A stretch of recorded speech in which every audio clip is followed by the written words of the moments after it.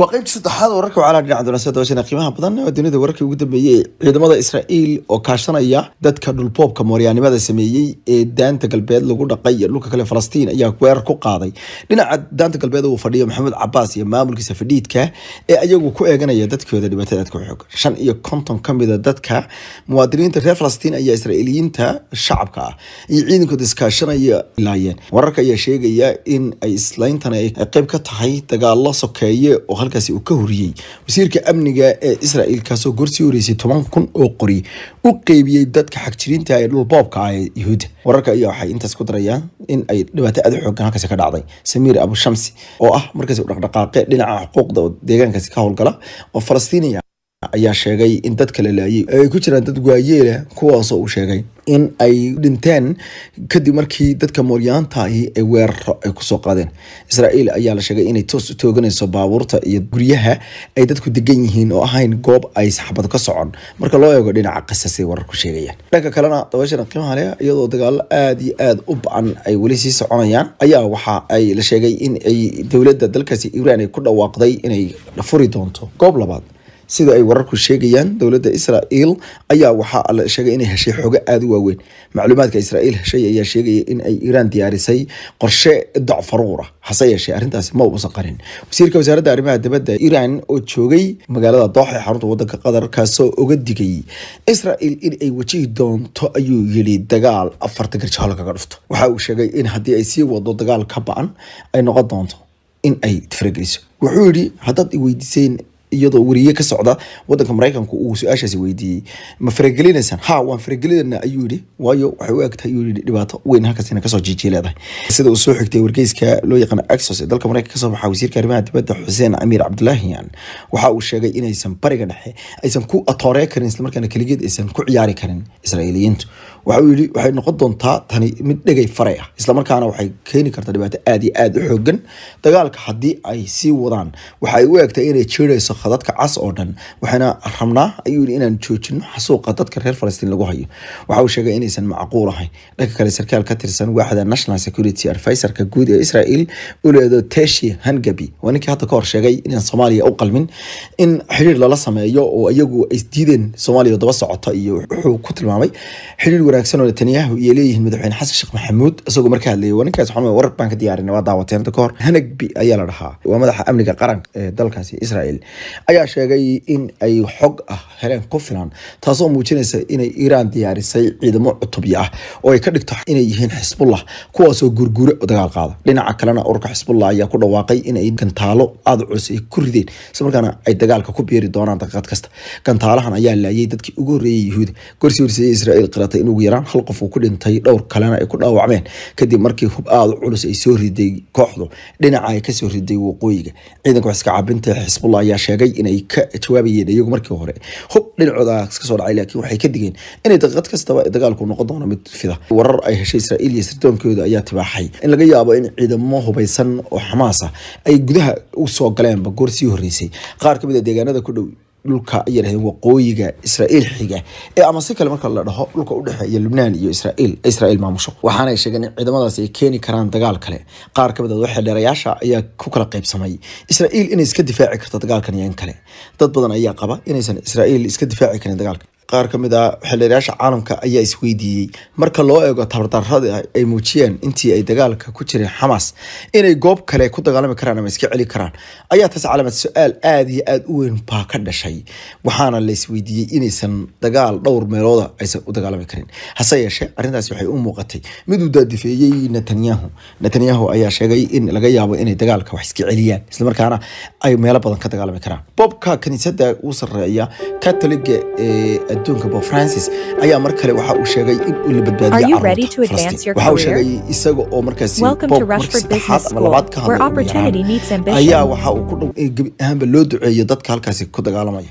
Waxa uu yidhi dadka waa in la xushmeeya islamarkaana waa in nolosha dadka qasa ku dhaqan ay noqdaan mid la xushmeeyo. Si deg deg ah waa in loo sameeya ayuu yihi aag bili-aadanimo oo lagu caawiyo dadka islamarkaana haweenka iyo carruurta waa in la geeya ayuu ka yidhi. Isagoo ka hadlayay goob duceedka st petersburg square square loo yaqaano fagaaraha weyn ee dadka kirishtaanka ay isugu yimaadaan maalinta axadda.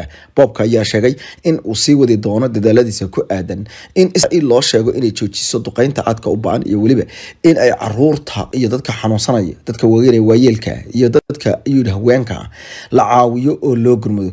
Boobka hadalkiisa ayaa imaanaya iyadoo culimada waaweyn ee caalamka islaamka aysan weli xitaa ka hadal arrintan markaan warmutiyeed isku xidhan iyo mid kala socdo toon aysan soo saarin. Xataa uu ku jiro alaasarka doctor axmed dayib uusan ilaa hadeerta ka hadal ee jaamacadda alaasar ee dalka masar oo ah jaamacadda ugu faca weyn. Caalamka islaamka sidoo kalena aysan hadal. Shiikha sheekh cabdiraxmaan sudaysi oo isaguna maamula labada masjid ee barakaysan masjidka xaramka iyo masjidka nasuubanaha ee magaalada madiina oo labadoo madax ka yahay. Isla ilaa hadeerto aysan haba yaraatee aysan jubo ka dhihin.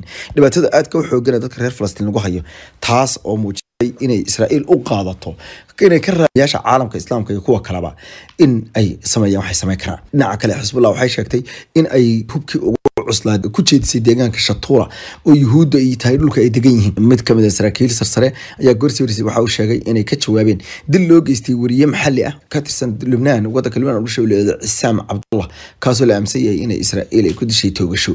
Waxaana sheegay in weriyahaasi uu doonayay inuu ka keeno xogo aada u waaweyn.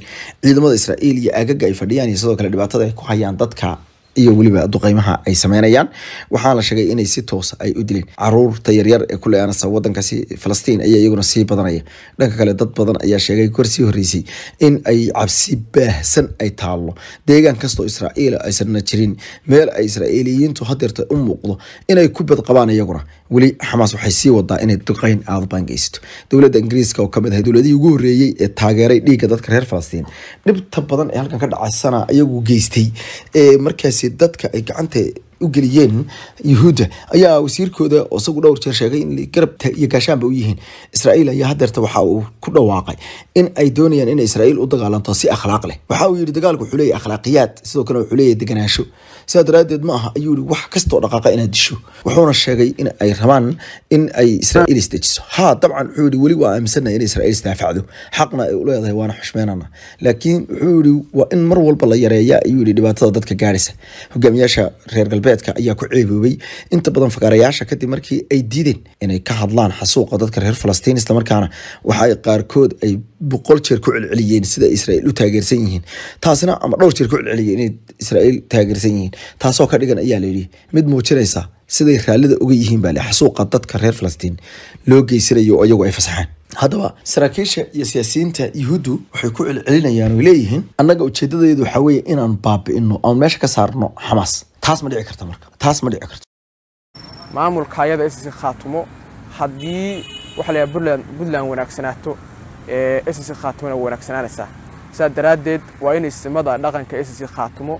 أي خاصة وحليه يجوا إن نقدان كوا وحليه رهضو لحد إيه حالين تجوا ونكسن كقاطة أرين تاس. إيه بدلن أو حماته أو بربرتا وإس إس خاتمه أو بربرتاي أو حماتي وين تلو جاده guud ahaan ummadda soomaaliyeed waan salaamayaa khaasatan ummadda reer ss khaatumo iyo puntland oo hadalkaygan uu ku socdo. Walaalayaal waxaad ogsoon tihiin in maamulka soomaaliyeed ee puntland markaan nahay reer khaatumo maamul goboleedyada soomaaliyeed inoogu dhow oo inagala dhexayso dhalasho iyo weliba waxaa la yidhahda isheeg daris wanaag in waxaa la yidhahda xaalado ay sabab u tahay doorashadu inay ka jiraan.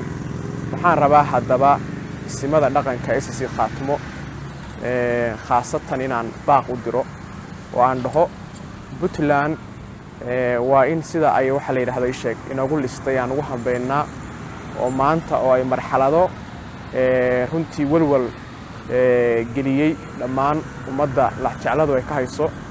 Maamulka soomaaliyeed ee puntland ay ka jiraan waa in xaaladahaas isimada dhaqanka ss khaatimo waxaan ugu baaqayaa waxay ka geysan karaan ee islaaxa inay ka geystaan oo ay isimadu ay waxaa la yidhahda isheeg hormood u noqdaan sidii kooxaha iska aragtida kooxaha kale aragtida duwan ee doorashada arrimahoodu ay ku saabsan tahay sidii ay isimadu waxaa la yidhahdo isheeg ay door weyn uga qaadan lahaayeen xasilinta waxaa la yidhaahdo maamulka puntland oo runtii wakhtigaynu halganka ku jirnay maal iyo naf inoo huray.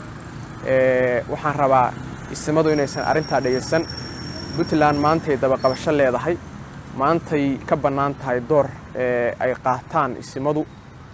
Badanaa isimada iyo waxa la yidhahda dadka waxgaradka waxay orordaan wakhtiga waxa la yidhahda isheeg ay xaaladdu faraha ka baxdo waxaa la rabaa hadday xaaladdu dabaqabasho leedahay waxaa la rabaa in hadda waxa la yidhahda isheeg arrintaas waxa la yidhahda isheeg wax laga qabto oo haddii rabbi idmo waxaa la yidhahda nabadgelyada deegaanka laga wada shaqeeyo khaasatan waxaan rabaa inaan aad u arko oo aan aad u jeclahay oo arrintaasina ay weliba midnimada iyo walaaltinimada ay sii xoojinaysaa ummadda isimadii s c khaatumo oo waxaa la yidhaahda isheeg dhinacyada kala duwan ee mucaaradka iyo waxaa la yidhahda dowladdaba la fadhiisanaya ishor fadhiisiiyey halkaana nabadgelyo iyo xasilooni ka dhaliyey puntland oo xumaata oo burburta waa c khaatumo oo burburtay oo xumaatay waa intaa la ogaada haddii puntland ay wanaagsanaato c khaatumona waa wanaagsanaanaysaa waa maamul waxaa la yidhaahda isheeg ganacsi iyo waxa la yidhahda amni iyo waxa la yidhahda dowlad dhis la wadaaga s c khaatumo. Waa intaa la ogaadaa anigu waxaan ahay nin ka soo jeeda deegaamada s c khaatumo welwelba ay qabtay markaan arkay puntland oo arrinteedu ay runtii waxa la yidhahda isheeg ay u muuqato arrin waxa la abuuri karta khalalaasa siyaasadeed. Sababta waxaa weeye sababta waxaa weeye puntland wada dhalashaa nagala dhexaysa oo waxaa nagala dhexeeya deris. Maamulka ayada s c khaatumo haddii waxa la yidhaha puntland wanaagsanaato s c khaatumona waa wanaagsanaanaysaa. Sidaas daraaddeed waa in isimada dhaqanka s c khaatumo ay khaasatan waxa la yidhaha iyagu ay noqdaan kuwa waxa la yidhaahdo dhexdhexaadinta ugu wanaagsan ka qaata arrintaas doorashada ku saabsan shacabka reer puntlandna.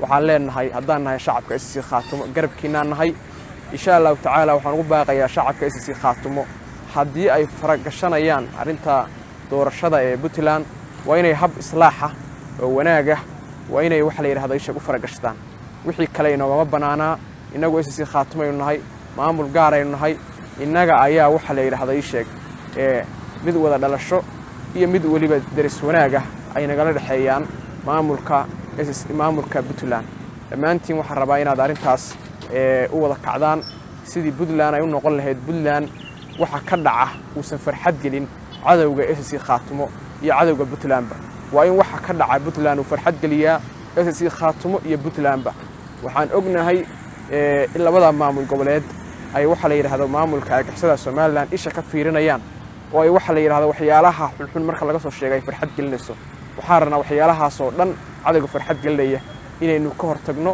oo